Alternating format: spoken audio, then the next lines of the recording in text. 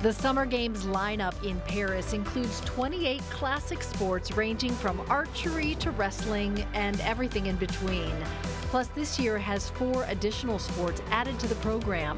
Skateboarding, sport climbing, and surfing are each back after making their debuts at the pandemic delayed Tokyo Games. Breaking, better known as breakdancing, is the only sport making its Summer Games debut in Paris. To make room for these four newer sports, karate, baseball, and softball athletes will not compete in Paris. But fans can look forward to the 2028 games as baseball and softball will return alongside cricket and lacrosse.